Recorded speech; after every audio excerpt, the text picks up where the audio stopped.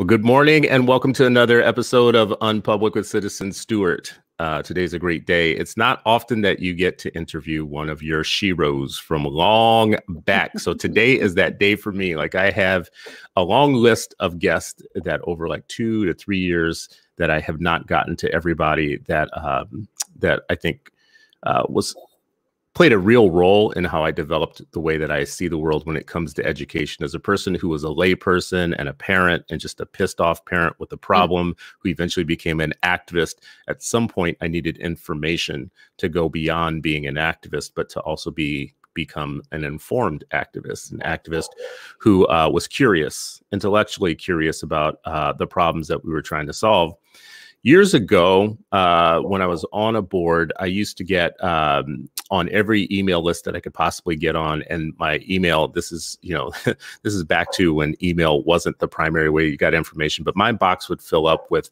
reports and graphs and and um, uh, uh, books from people uh, and you know some of them were more important than others but none were more important than the education trust information. When i finally happened upon uh, the education trust information. It was really important to me because it was doing something that none of the other information was doing. It was using data and statistics and information to prove the point that kids can learn at high levels. We used to say it all the time in my life and on the on the school board. Uh, kids, all kids can learn at a high level, but we never really had an example to point anywhere. We could never in our district we really didn't have any schools where we could say see.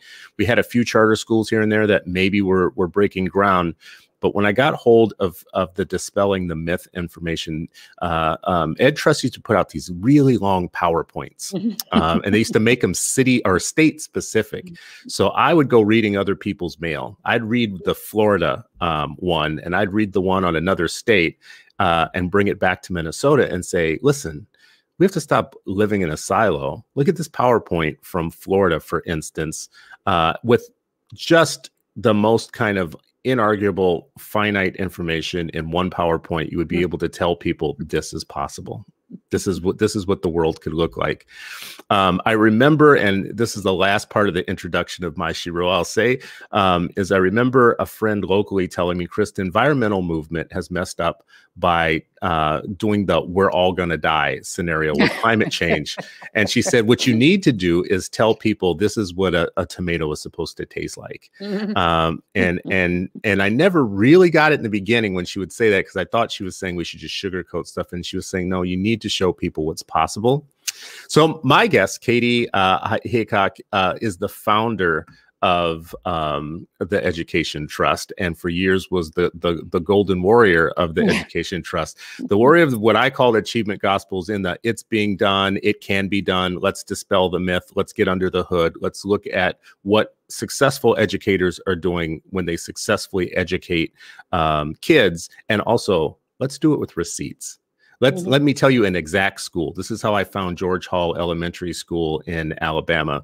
It's through the work of people like Kati and Kati's team, and you know mm-hmm. later I was introduced to other people from the team or who who were associated uh, with Education Trust, who just kind of made it simple and plain. Our kids can learn and we'll tell you how. Kati, good morning. Thank you so much for hey, that. Chris. You know, here's that long run up to you to you coming on.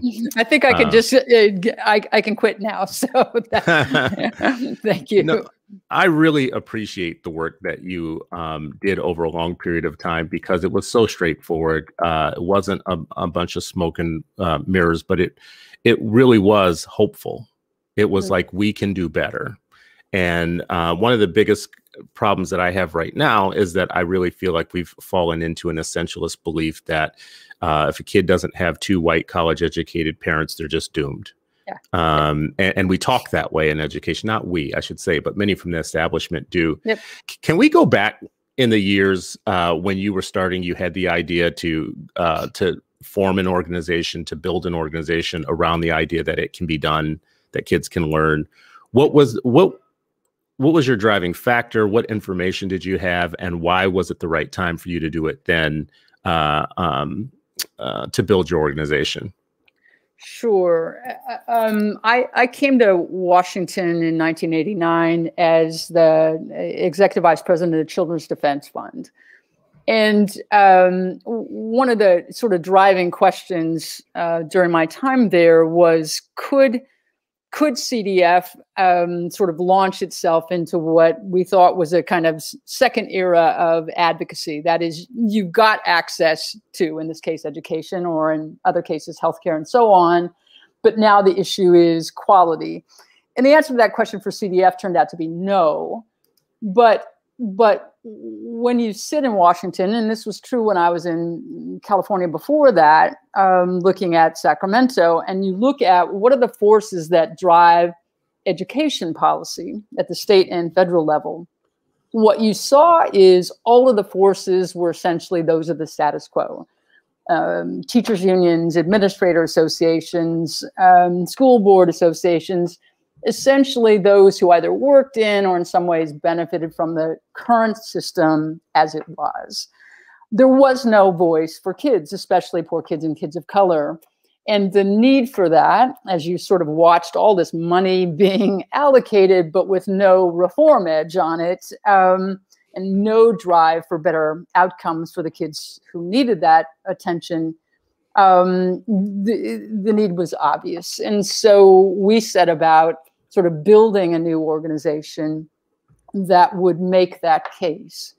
But the, the, the sort of important part of that decision was sort of the question is what's going to be what's what's your main tool here and it, it, seemed clear to us at that point that without data you're just kind of another guy with an opinion right mm-hmm. and so what we what we set out to do was to cull through these huge amounts of data that schools and districts and states produce on education that mo- but mostly sits unanalyzed and try to tell both the story of need um, and that and that really means being really super honest about the problems but also provide enough hope and enough direction by identifying exceptions to those patterns um, that would actually energize people and focus them on more effective strategies. So that that's that's the ambition.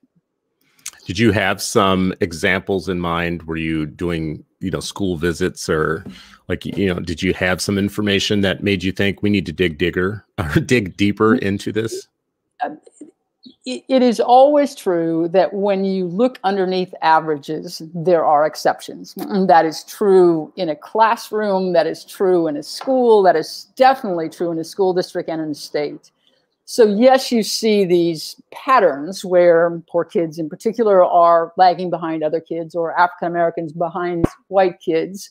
Mm-hmm. Um, mm-hmm that that yes that is true when you look at averages but underneath that there are always schools that are doing way better than others that are either improving faster or just knocking it out of the park we were talking about mm-hmm. george hall george hall in its day was one of the top performing schools in the entire state of alabama mm-hmm. despite mm-hmm. having started as one of the lowest performing schools um, and you know the the school board there had you know pretty much thought well what do you expect right the neighborhood right. around it was mostly poor mostly african american lots of single parent families and sort of all the excuses but when they sent in a new leader who restaffed the school and started in a new direction what you saw is those kids who nobody thought could learn we're actually hitting it out of the park and not mm-hmm. just at the proficient level, actually, in the case of that school, at the advanced level on the state assessment. So again, when when you begin peeling the data back, there are always exceptions, even at the state level. There are states that are improving much faster than others. There are districts where the performance of African American fourth graders, for example, even low income African American fourth graders, is two or three grade levels above the same kids in another school district. So, mm-hmm, you know, mm-hmm. you you don't have to spend much time with the data to see that there are examples that we can learn from. And you know, the private sector does this too, right? They're mm-hmm, identifying mm-hmm. companies that are earning more, improving faster and so on. There's resistance there too, I am told, to learning from the leaders it's usually the kind of middle performers that are aiming at the top as opposed to the low performers that learn from those. But we basically decided to use the data both to create outrage at the problems, but also to create energy and hope around the solutions. You know, um, you just used the word resistance, and if you had to ask me about today, I could tell you very clearly who the resistance is and and why it is. Um, but I can't tell you that about you know earlier times mm-hmm. in in these type of efforts. What what would have been the resistance? uh, back then to saying, hey guys, let's look at great schools. Let's just look at great schools that are doing a great job. There's the resistance mostly comes from those who work in the system who mm-hmm, don't, mm-hmm. you know, it, it, it, education often feels to me like, you know, crabs in boiling water, like one starts crawling up and, and the other one's pulling back down, right? So instead of saying, hey, that guy got out of the boiling water by using a particular strategy, we want to pull them back in. Um, and you know, when there when there are schools that are unusually high performers, their principals are accused of you know they're cheating, going. on. there's mm, all we have mm-hmm, all mm-hmm. kinds of reasons for dismissing them because they make us feel like oh maybe the problem is us mm-hmm. when it's way more comfortable to believe the problem is the kids. Mm-hmm. So even then, you would have said said oh, back absolutely. then. Oh, yeah, there absolutely. was there was the blame the kids syndrome even back then. Oh my God, yes. No, we have yeah. we have always blamed kids and families, and you know, frankly, the research establishment with their regression lines have contributed to that. Like you know, mm-hmm. the few pieces of data that you see in in ed school, all are about the re- regression line. Nobody ever says, "Let's look underneath the data here." yeah. and say, whoa, yes, in fact, as the poorer a school is, on average, the lower its performance is. But is that true of all high poverty schools? Answer absolutely not. But yeah. that's not what they teach you in grad school. Well, here's how um, you know how much of a layperson outside activist I was on the board. I can remember the first time seeing a scatter plot. Mm-hmm, mm-hmm because you know the most damning thing in statistics is to say well you know the correlation between poverty race and low achievement. And i always used to say well you can't argue with correlations. Like mm. correlation wow that sounds like a big yeah. word. Wow yeah that's true man. God yeah. You know what's also correlated with high achievement? White skin. So maybe we should just outlaw blackness right? Like you know we just get rid of blackness everybody will be you know um, sure. but the moment that i saw a scatter plot and I had to ask a question and say, well, wait a second now, all these schools are poor. Right. And and uh, all of them have mostly black students, but for some reason these few are up here, and these yeah. other ones are all crowded down here. Yeah. So yeah. now tell me more about those other schools. Tell me about.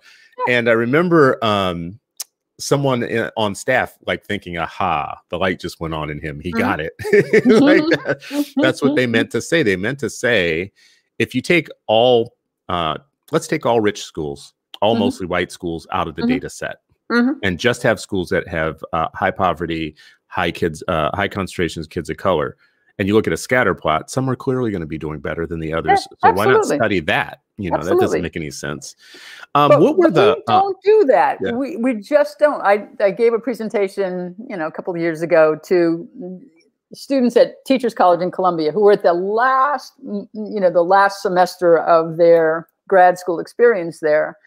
And as I was talking, I was seeing just anger. And I kept thinking, mm. Mm. and I was feeling like it was targeted at me. And I was trying to figure out what the hell's going on here. And finally, one of them just exploded and said, why haven't we been taught this stuff in grad school? Why do we have to come down wow. here to Washington and talk to you? You know, and and two African American students described their experience of having actually taken in some data from underneath the scatter plot to a class and said to the professor, why don't we talk exactly the question you asked? Why don't we talk about these schools? And he just shut them down and said, you know, we're not here to talk about the exceptions. We're here to mm. talk about the rule. kind of going, oh my I've, lord! I've heard you mention that before, though. That I don't remember how you said it, but that like let's focus on failure thing, like the rule, is is a backwards way of looking at the world. Totally, totally. Um, if you want more failure, you would study failure. Yeah. you know, that's right. We, we, seem to be pretty good at doing that yeah. without studying it. You know what I think is uh, really interesting about those students that you mentioned in the class who were really upset about it. I felt the mm-hmm. exact mm-hmm. same way at some point. Mm-hmm. When I started discovering that we've known all along that we have some great schools yeah. that are really doing a good job, it started making me really angry about the the drumbeat of, hey, if kids are poor, you've got to lower your expectations. Right. Yeah, they can't learn. Right. Um, when you started doing this work and you were building out in the beginning, what were the policy enablers that you learned were going to be important if you really wanted to have the world that you wanted?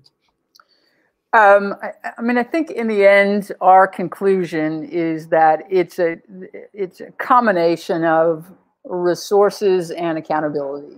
Um, that that unless schools are accountable for for the for improving the outcomes for all kids, and in particular for the groups of kids that have been underserved, um, that no matter how much you give them in way of extra resources, things are not going to get better. Um, and you know, some people say, well, that's you know, that's all about about sticks. And all I can say is, you know, when you look at the data, sticks work. Um, it's a horrible thing to say, and I wish I wish it were not true. But we make more progress in education when not making progress has consequences for those who work in schools. Um, so when you say sticks, what would be a stick? What would be like one that you think actually does is effective and drives achievement? Well, certainly labeling it has been important. You know, yeah, states yeah. that have had more honest uh, and simpler to understand, especially for parents, um, school rating systems states that make it matter to your rating, not how just the averages look, but how all groups of kids are doing. Mm-hmm, mm-hmm. Um, you know, those kinds of ratings. Again, not these complex algorithms that nobody can make sense of, but something that's really honest, really drives uh, drives action. And certainly, I mean, Florida is a very good example of how much sort of parent action was driven by a simple school rating system that had consequences. Mm. So when you rate the schools, I imagine that you're you're fine with assessments. Um, Absolutely. Yeah, mm-hmm. annual mm-hmm. assessments, student yeah. assessments. Um, where do you come down on things like uh, state standards? I mean, state standards are essential to to the development of, of, assessments that actually measure something that's important. So I am definitely a believer that having standard clear standards and then having assessments that measure whether kids are meeting those or not are essential. It's yeah. not the only measure I want to look at when I'm looking at how a school is doing, but it's a really important measure and it feels like over time we've really um, we've allowed people to attack the instruments rather yep. than the outcomes. yep, yep, and that's and that's happening unfortunately on both sides of the yeah. political equation, which is a which is a problem. But frankly, even if you're skeptical about tests, pretty much every measure that you look at is going to show you very much the same pattern. So people say, well, why don't we use grades instead? Well, there, there are challenges with using grades because you make you make something that subjective a part of your accountability system. Um, you know, there, there's going to be temptation to to screw with it. Yeah. That said, when you look at if you look at data by race for a school district, for example, you will see very much the same patterns with grade point average that you do with test. Um, so, and that's true when you look at advanced course enrollments, advanced course completion, high school graduation, college entry, college success. Um, so even non-test based measures are still showing us we have a problem but those same measures are also showing us that some folks are solving those problems better than mm-hmm. others. And it's mm-hmm. true at the college level as well. We can we can take a set of colleges that have essentially the same student populations in terms of poverty, race, whatever you want to uh, measure, and then look at their four, five, or six year graduation rates. Whopping differences, hmm. depending mm-hmm. on what mm-hmm. they do not the complexion of the kids and it's that yeah. message um, and and it, and and having multiple measures that show show you um, the problem is useful because it, it means that we if, if you just have a test-based conversation there are a set of people who just check out Mm. Um, so we've learned over time you need to broaden those measures, even though tests are fundamentally important to know about the actual learning that goes on know, it's funny. You go to the doctor. They, uh, I don't know much yours, but mine. It's just like routine. You take the blood pressure test uh, yeah. uh, before I do anything else, and it's kind of yeah, like I never yell at them. I'm more than my blood pressure. you know, I'm so much more than my blood pressure. You know, yeah, like, yeah, that's that's cute, Chris. But uh, you know, or you go get a home loan. I'm more than my credit score. Yeah, yeah. Okay, Chris. That yeah, that sounds great. Um, when who who were the champions in the time that you were uh, your work was new and you were mm-hmm. really getting into it? Um, who were the policy champions? Who were the political leaders that you think actually were the example of what we need more of now? Yeah, I mean the the we had the advantage of working at a time when bipartisanship was was still possible, um, and one of the things that meant is that we needed uh, both Democrats and Republicans who sort of got it, who understood the urgency of change, but who were also willing to work together across uh, across partisan lines to get that done. So when I think about uh, about the the energy that created No Child, I mean that was literally Ted Kennedy, George Miller on the left George Bush and John Boehner uh, on the right. Um, and there in the end was literally no space between them. There was in the beginning, but not in the end. Um, and it's just kind of a reminder that um, that that kind of you, you need people who are courageous enough to you know to push their own party but also willing uh, willing to work across the aisle. And that's it's what i worry about right now. That's very hard to find that. It doesn't feel like that is going to be happening again for a while. Not in the short term i don't think. Um, i think we got a lot of work to do to rebuild uh, some bridges there but uh, th- that's a tough one.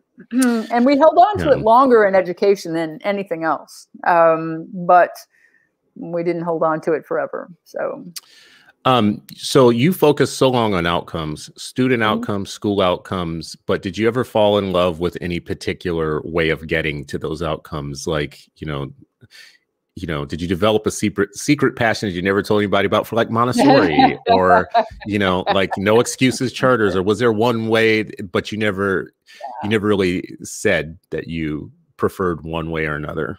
No, I mean, high quality instruction is always going to be the key to anything we do, right? It's teachers who both believe the kids can achieve and who are willing to respect them in the way that kids respond to. And respect really means challenge. High mm-hmm. challenge, but high support. Um, so, I mean, somewhere in that nexus is is the key to most of the the work that we've looked at. And now at the college level, things are a little different. It's really about intentionality. It's about using data constantly. It's about really aggressive mm-hmm. systems of acting on those data to make sure students stay on track. Um, but certainly at the K 12 level, it's largely about instruction. it, it really feels like education has won the war against data uh, like I've I've argued that like you know we've got kind of like a QAnon type of ed movement that is like anti-data, like oh our instruction should not be data driven. That takes all the joy out of education. What and as a person working on the outside, I'm kind of always like, really? Is that? Yeah. It's kind of like accountants going like, I hate numbers. You know, it doesn't make any sense to me. Um, is that like do you think that that's just like a long um cynical movement to to resist accountability or do you really yeah. believe education ed, some educationists believe that you're trying to ruin their system by making it all about numbers and less about kids no i mean there, there are certainly some who believe that um, and you know it's just like those who continue to believe that teachers should make uh, up every lesson from scratch. I mean, you talk to most mm. teachers and they say, "Please don't make no, me do that." No, yes, um, no. but but there there are those who still argue that giving teachers scripted lessons or even fulsome lessons and um, and asking them to actually teach them is a horrible thing to do. So yes, there are always people like that, but I think in general, the the war that's been temporarily won is a war that basically people are not thinking and talking about outcomes a lot now. Even I mean, you focused a lot of attention, Chris, recently on early reading. And I know mm-hmm, Kate Walsh mm-hmm. has been doing great work on that at NCTQ. The learning disability community is spending a lot of energy on that as well. But we're still not making the progress we could make um, mm. If teachers got the training and support and materials they needed. And it, it's that our our unwillingness to take that on is the foundation of so much later failure, right? Um, it, it's just too easy. Um, it's too easy to blame it on the kids after fourth grade if they can't read. Yeah, um, if they can, and, and, their parents in their yeah, home, and yeah. yeah, yeah, yeah, and that's just it, it's just um, yeah, it's, it, it's a problem, and we got to figure out how to regenerate concern about that. I mean, even like you know, it used to be when the international exam results came in you know, people here would get a little anxious, like, "Whoa, look at look at us! We're 27th in the developed world in mm-hmm, mathematics. Mm-hmm, That's a mm-hmm. problem." Mm-hmm. But now it's kind of, oh well, whatever. so, look, we're thriving economically, no matter what. Um, so, how to how to rebuild. Uh, sort of righteous concern about what our young people are prepared to do. I mean, you think a little bit about what's happened with the pandemic economy, very much what happened in 2008. The jobs that disappeared and are not reappearing are the ones that are held largely by students who, uh, young people who completed high school College. or less right? Oh, so yeah, okay. the ones that disappeared and don't reappear. So yeah, yeah, that happened in 2008. Um, you know, two thirds of the recovery went to college educated workers, and that's going to happen again. So, so we've got to get some energy behind more, way more energy behind to and through college, right? This is not mm-hmm. about to and through high school. It's about to and through college in this economy. And that means you have to care about fourth grade reading you have to care about eighth grade math. You have to care about what the coursework that students complete in high school, because that's the single most strong predictor of how well they do in college.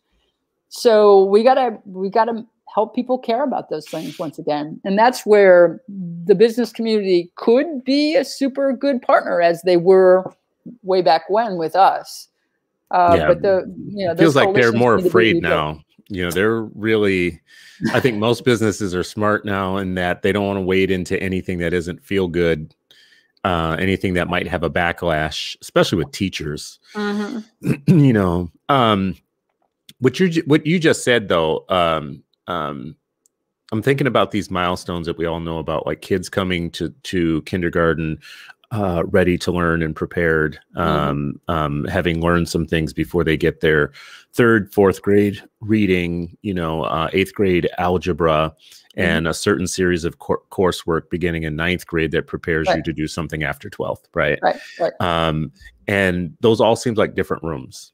Seems mm-hmm. like the people that are captains of each of those milestones mm-hmm uh, exist in different rooms and no one's mm. actually put the puzzle together to say no no no guys yeah y'all, y'all have to be in the same room you have to like yeah. early early ed uh you know successful k k1 start with k1 and yeah. and uh third and fourth grade reading eighth grade math uh ninth through 12th grade prep for life um like that's not one agenda those are multiple agendas mm. And you have politicians who are like, listen, don't make me talk about anything other than early ed. Yeah. Because that that K twelve, those K twelve years are rife with all kinds of politics. So yeah. I'm going to be a safe, for instance, Democrat. I'm going to be a safe Democrat and say we need to make sure every kid gets a great start in life. Yeah. Yeah, I, I, I, do think that's a problem. If, if people would coalesce around anything, I wish they would coalesce around high school um, because I think we know from experience that demands at the high school level can actually drive change all the way down. Mm, but doing mm-hmm. better with youngest children doesn't drive change up. Oh, so wow. if you look yeah. at the data, for example, you see that kids have entered high school over the past 10 or 15 years better prepared than those that preceded them. but they've left high school less well prepared. so, wow. the, the, so in the high school, when you talk to high school people about students coming in better prepared, they just kind of look at you like, huh?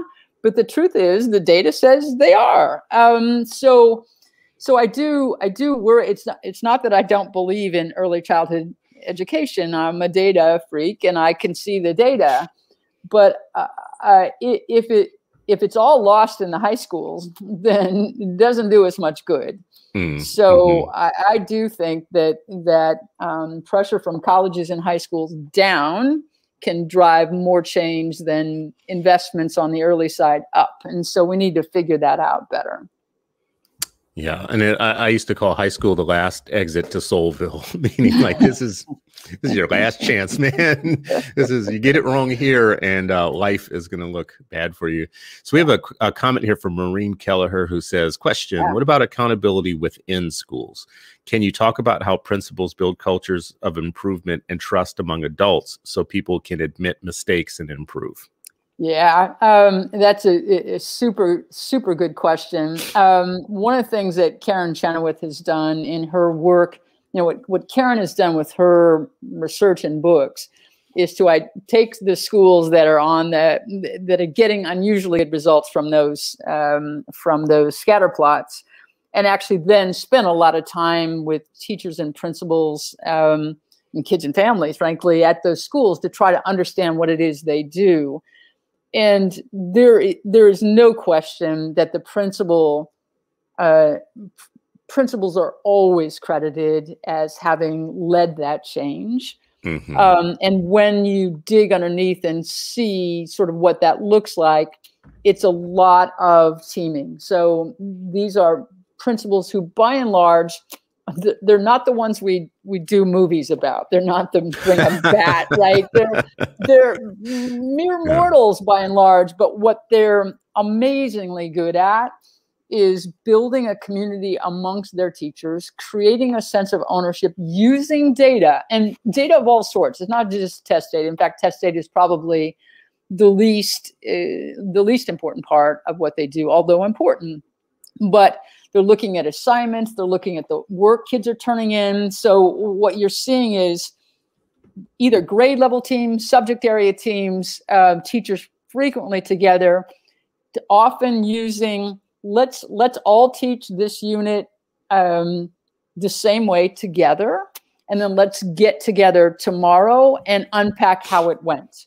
And mm-hmm. let's look at the work kids did in response, see what we can learn from that about how to make those lessons ever better. So, um, and that, you know, it's hard. It's hard for teachers to bring their assignments for their peers to look at. It's hard for them to share the student work um, that came in response to it. But in our experience, either in our observation, you know, the, the, the first six weeks of that are painful because teaching and, you know, has historically been a very private act. Um, and making it public, even just with your colleagues, is hard. But once you do that and teachers see how they can learn from each other and you know how how one teacher got these way better results by doing it this way then you really can build um, build an improvement tra- trajectory that's just mind-numbingly good Hmm. You know, one of the things that um, we've said on this show before and talked to few few people about is that we have a lot of heat for teachers, but we don't oftentimes talk about principals and um, yeah. and everything that could be said about the prep programs for teachers um, mm-hmm. probably could be said double for how we produce good principals or don't yeah. produce good principals. Yeah. Yeah. Um, uh, and that's a shame because there's fewer of them. So you should be able to do a good job of creating great principals, right? Yeah. Um, and it doesn't feel like we have that part figured out, really. Right. Right, because it's it's both about picking people who are you know likely to to to be able to be that kind of principal that I just described, and then mm-hmm. about training them. I'm, i mean, I've I've always thought that the, the, in the end the best way to do this is by um, identifying our best principals and assigning uh, assigning them roles and preparing the new ones, right? So, so let's learn from the best as opposed to from some ed school someplace. My my own sense is that principal preparation is way too important to be left to higher education. It's just, you know, just period, period. That's a damning thing to say. You know? yeah, well, like, I spent a lot of time working with higher ed, so yeah, it comes from experience.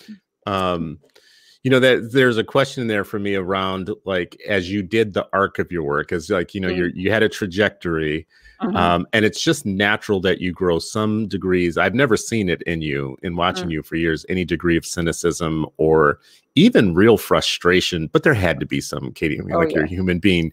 So, yeah. like, did you nurse any grudges about things that just stopped making sense to you in the work?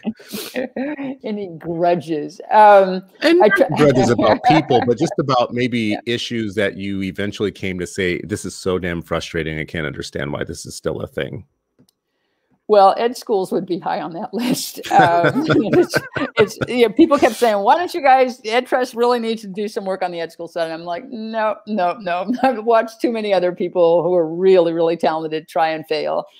Um, no, I think the bigger challenge, um, sort of underneath, I think what you're asking, Chris, is how do you avoid not just becoming depressed, right? So there were mm-hmm. there there were long periods of time when we were not moving the needle, um, and in fact, the impetus that led to No Child, like it or not. Um, was this long period of time during the 90s when achievement was relatively flat and the gaps between groups of kids were actually getting wider. So after people could kind of lull themselves prior to that into thinking, well, things you know they, they're maybe getting better too slowly, but they're getting better. And then during the 90s, it was just like, oh God. But there, I mean, that's I suppose when we really started digging more and more into the exceptions, right? What do you learn from those? Um, mm-hmm, mm-hmm. And for me personally, it, when I'd get kind of into a funk about it, because I, I, knew, uh, I, I knew my own sense of optimism and hope was important as a communicator, right? If I if I couldn't both show the horrible data, but also convey a sense of optimism and possibility about fixing those problems, then I was, you know, not doing my job. So for me, it was go to George Hall, go to, you know, Tubman, go to go to one of these schools that was just hitting it out of the park and sit in classrooms, get excited about what really good teaching looks like. Um, mm-hmm and that usually you know i have to do that you know once or twice a year and some in some years a few extra times in order to like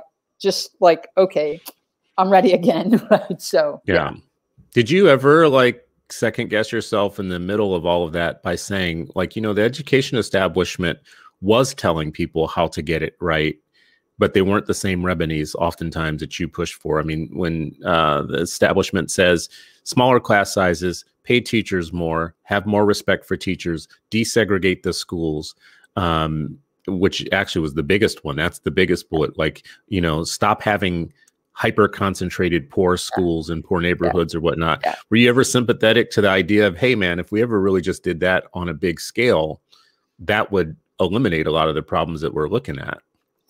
Yeah, I, I, mean, there are definitely, especially around issues of segregation, integration. I, I, mean, at some level, how can you not want more kids to be educated together, right?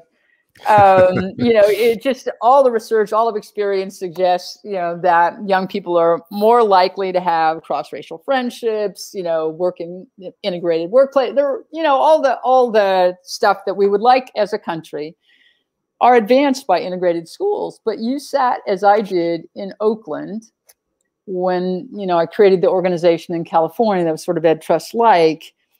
And at that point, we were 90, I don't know, 92% African American, Latinos just starting to get a foothold, and you know, a handful of whites. And you're saying, okay, if integration is the only way to have high achievement, Mm-hmm. We're stuck, really, right? Mm-hmm. we're stuck. And, and, what kind of a message does that send? You know, and they say, well, we could integrate. You know, Gary Orfield would say, well, there are all these these uh, regional desegregation possibilities. You could take Piedmont from out of the donut hole of Oakland, and you could integrate with those kids, or you could go over the hill to Orinda and Moraga with all the rich white kids, and you're going, and yeah, that's going to happen when for whom really uh, so i mean it just seems to me that i am i am glad for people to work on integration.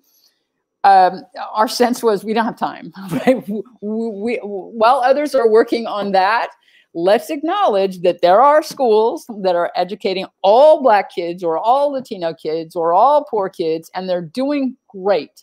So let's yeah. do that while we're working on this. Plus, this is my biggest problem that, you know.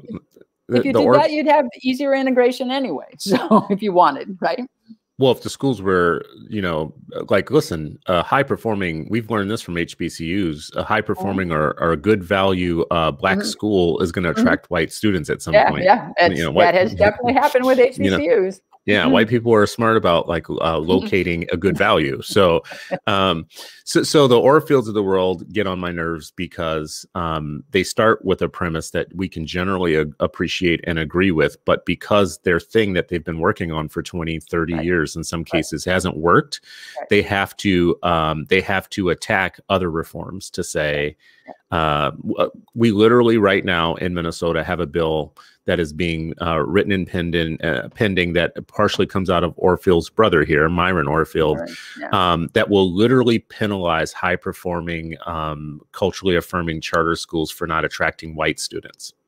So if if they will be they will be put on a three year plan if they don't attract white students, and if they don't attract white students within that three years, they will lose money. They will literally lose money. Doesn't matter about achievement, doesn't matter how they're doing, whether the kids are happy, whether the parents put them there on purpose, whether the parents are satisfied or whatnot. They will literally lose money if they don't attract white students in three years, within three years. And because we're Minnesota, all the all white schools though will be held harmless. It's only targeted at de ah. desegregating schools of color. Right? What's the rationale for that? Integration is the only way for those kids to learn. Like the government is not fulfilling, their argument is the government is not fulfilling its constitutional purpose to an equal education if the kids uh, um, are segregated. But segregation in Minnesota and by this law will only mean when kids of color are together. It won't mean when we have entire school districts where almost everybody's white. Right? right. So that means like I can't go in outstate Minnesota and go to a school district and be like, you know what y'all need? Y'all need some Negroes here because y'all ain't got none. Right. Like I won't be able to do that, but they will be able to walk into a charter school, a high performing Afrocentric charter school or Latino charter school or Hmong school and say, if you don't get any white students, we're going to take money from you. Interesting. And does that apply to traditional school districts, uh, high performing, yes. predominant? Wow. Yeah. but I mean, it's going to end up where the only people that get a punishment are going to be schools that serve high populations of yeah. kids of color, not yeah. schools that serve high populations of white kids. Yeah, yeah. So you'll punish one group. And that's where we are with our educational theology now, right? Uh, integration is the one way to make it happen. Now, I went to the same people that we're talking about who are pushing this because I've worked with them in the past on mm-hmm. integration mm-hmm. stuff mm-hmm. and said, Are you guys going to touch teaching at all? Teaching mm-hmm. and learning and uh, any of that stuff, you know, pedagogy, curriculum. Mm-hmm. Uh, um, no, no, Chris, because integration is the thing that will make it, you know, all better. So I'm only saying that to say we're losing ground, I think, on what I saw as the most powerful focus, uh, mm-hmm. which is what yeah. you had. Yeah. What you had is on let's look at the schools that are doing well with kids and get kids where yeah. they need to be. Yeah. Let, us stop waiting for magic to happen, you know? Yeah. Yeah. Well, that focus can come back, right? You, you think so? Oh, good. Absolutely. Tell me absolutely. more. All right. No, absolutely. But it needs it needs strong coalitions to bring it back. Um, and right now we're hampered by the business community being less courageous than it should be. Although uh, maybe we start with a list of CEOs who started on the voting mm. rights work and shame some of their peers into getting involved in that. Maybe maybe the next step for them is some shaming around achievement um, and the need. I mean, when they look at their workforce possibilities, they have to be concerned. That's true.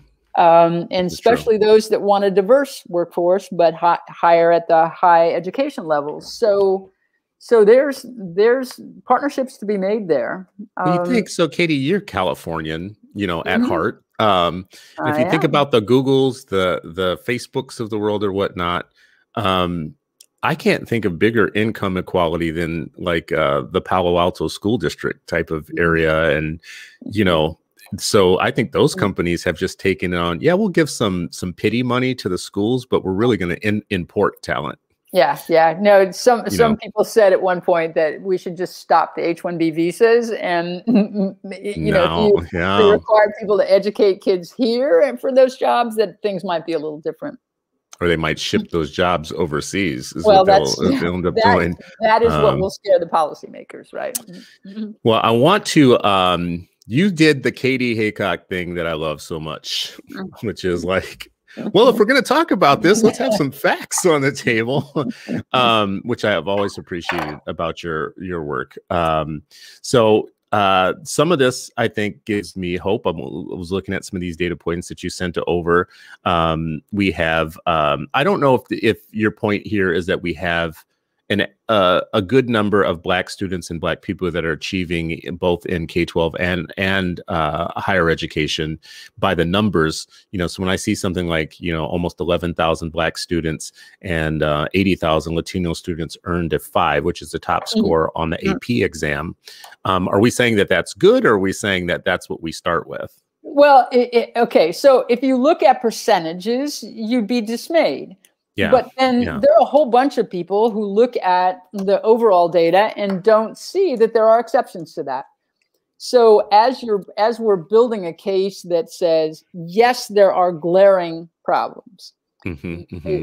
Black and Latino kids, in particular, are are uh, lagging behind where where Asian kids and white kids are but but don't be confused by that. Mm-hmm. That doesn't mean they all are. And there are kids every single day who are hitting it out of the park on ap exams on sat on on admission to colleges and so on. So it's it's again it's about it's about dispelling the myths that are in people's heads about who yeah. can't learn and I'm afraid in too many people's heads, there's an image that says, yeah, yeah, I know about these gaps. And that, that means they're all there. They're not.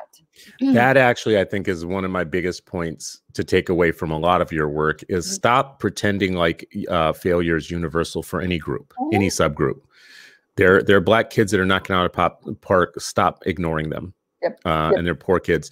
This number on the AP, you mentioned Florida early in the discussion. So mm-hmm. Florida, um, one of the things I remember from a Jeb Bush uh, presentation that you did here in Minnesota was that they um, they had a 300% increase in black students not taking AP exams but actually passing, passing them. Yeah.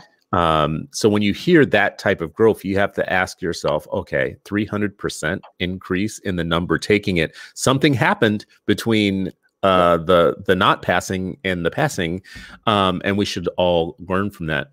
Um, you're also saying here that approximately uh, 2,200 Black students, uh, almost 5,000 Latino students scored at the top levels of the SAT. The UNCF puts out a lot of information around this, and mm-hmm. their thing is the percentage that actually pass in all four categories. Mm-hmm. I think might be their thing. Um, like the totally college, the ones that graduate uh, ready to to ace all parts is mm-hmm. like extremely low, like twelve percent or something mm-hmm. like that, mm-hmm. um, five percent. But when we look at the aggregate numbers, it's nice to know that we have a, a population to study. Yeah. Yeah. Okay, yeah, what's going on sure. with you guys? I want to get down to Kentucky. What are these two yeah. things showing me about Kentucky here? Yeah, what I'm basically trying to show here is what those scatter plots we were talking about earlier look like, right? So this is um, scatter plot that that plots um, poverty rate across the bottom and achievement on the left um, axis. And what you see, you know, what professors always want you to see is that red line, right? And it says, you know, as mm-hmm. the as the poverty level of the school gets higher, um, the achievement on average goes down. But what the second slide there shows you is if if you look at the circle on the right there, it shows you that among those high poverty schools, there's a huge range in achievement from those mm-hmm. that are at mm-hmm. the very, mm-hmm. very bottom to those that are quite uh, quite high achieving. And if you look at the circle at the top, what you're seeing is that at all levels of income uh, distribution, there are schools that are unusually high achieving. Mm-hmm. And so mm-hmm. it's the it's the schools in the kind of intersection of the box uh, of the two circles there that Karen would go study, right? So those mm-hmm. are the mm-hmm. ones that we can really learn from, suggesting once again that demography is not destiny, that what schools do actually matters. It seems like if you look at these two slides, it's a choice about what it's about making a choice. What yeah. do you want to believe about yeah. education and the people yeah. that are being educated? I can't think of a good reason to choose the red line you know the regression line i can't think of like what it does for you to say no let's stick by that as the law yeah. except to say we don't want to hold anybody accountable for what the people are doing in these in the second yeah, yeah. Uh, second and that's you know it's that's something that ron edmonds used to lecture you know before we were even around right so back in the 60s the whole effective school thing he, what he used to say over and over again is how many schools do i have to show you that serve poor kids or black kids um, effectively for you to believe that it's about not not about the kids but about us and if the answer to that is more than one then i suggest yeah. there's something wrong with you and i think he was dead right so ron edmonds who had the effective schools movement actually mm-hmm. looked at those schools and said here's my takeaway on mm-hmm. what what mm-hmm. we can learn from them um, and I think part of the problem, probably I don't know if you agree with this, that happens is that people go out and try and say, okay, here's the recipe, here's the five things that he found,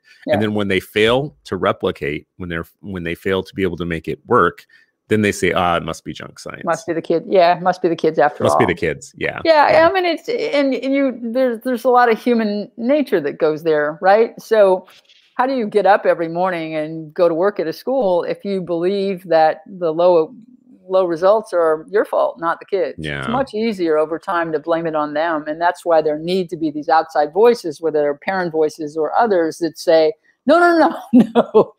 look, look, there's a school right here that serves kids just like ours, getting better results. Um, yeah. We can do better. It's not the kids. Um, but unless there's somebody constantly pressing there, um, unless our systems constantly press there, our school district leaders, our state leaders, our uh, activists of all sorts, um, then it's need, just too easy.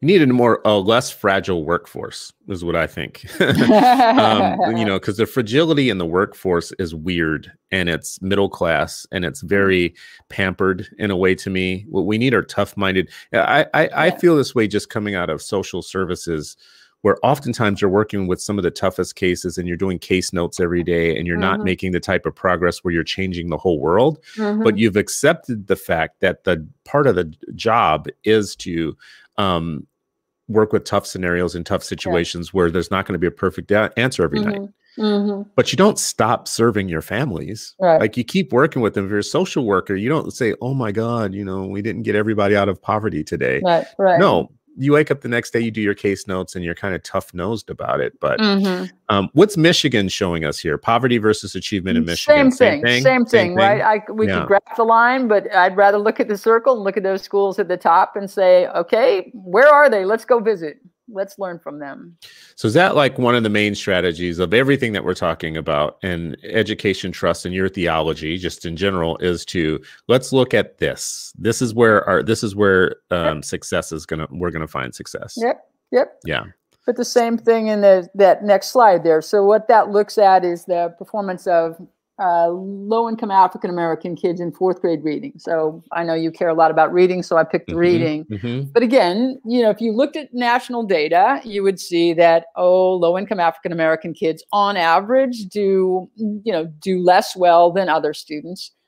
But if you look just at low income African American kids, and you look across the urban districts that participate in TUDA, what you see are whopping differences in the performance of the same group of kids right? So on the left hand side, you wow. see, I can't, I can yeah, hardly read those uh, numbers. On the left, right? it's Boston, right?